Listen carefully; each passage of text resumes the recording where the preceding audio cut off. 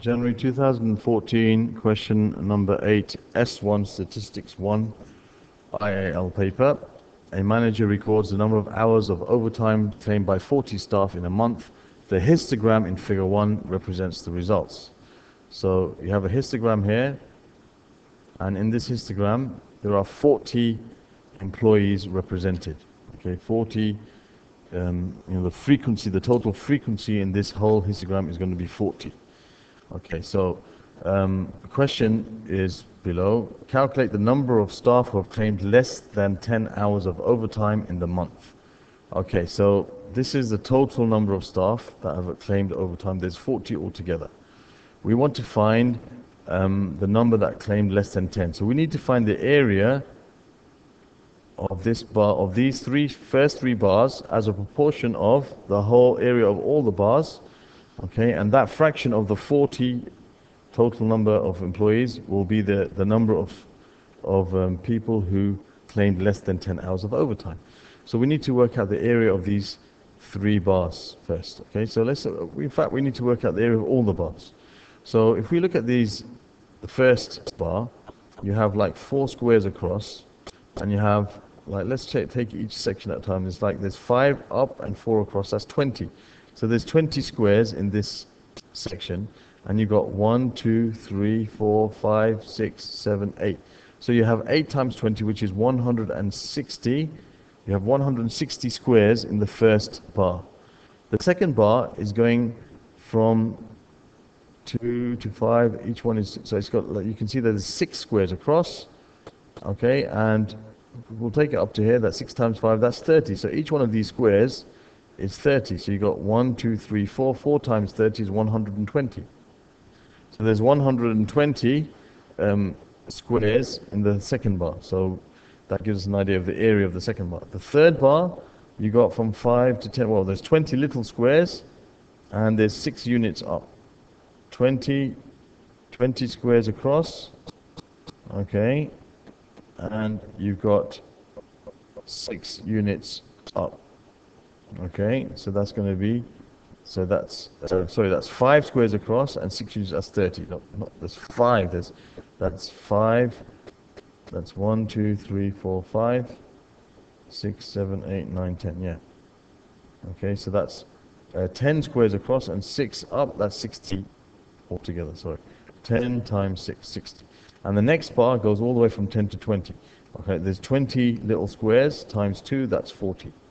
20 times 2, that's 40 squares there. And here goes from 20 to 30. That's actually, there's 20 squares, 20 little squares times 1, so that's 20. So we can see that the total number is 160 plus 120 plus 60. That's for the first three. That's the first three here. That's going to give you 280, 340. So there's 340 squares in the first three. That Those are the ones that I took less than 10 hours of over, overtime. And in total, we have plus another 60. So if you add another 60, that's 400 in total. So we can say that 340 out of 400 of our 40 employees claimed less than 10 hours overtime. Okay, so what will that give us? Well, that, that will give us 34.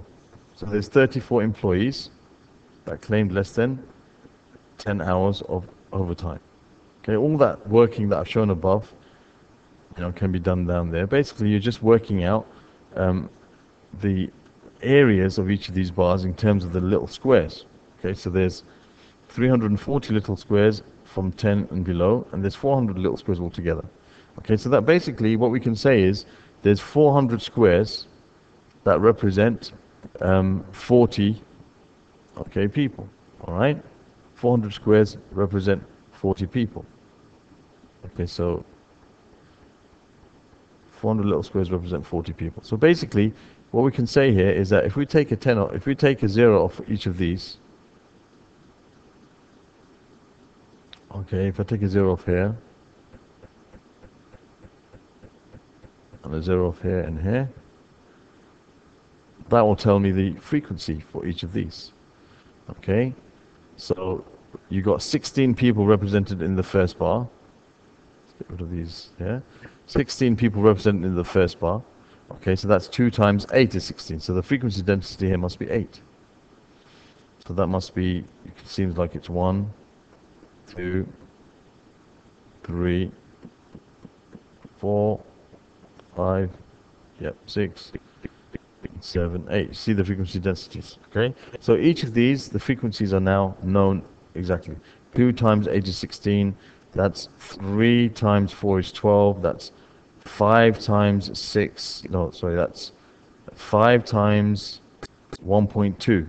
5 times 1.2 is 6, that's right. And you've got um, 10 times 0.4, which is 4. And you've got 10 times 0.2, which is 2. Yeah, so all the frequencies are there now as well. Okay, so that's that's the end of question part A. Question part B, I'm going to go to in the next video. So I need to have this displayed.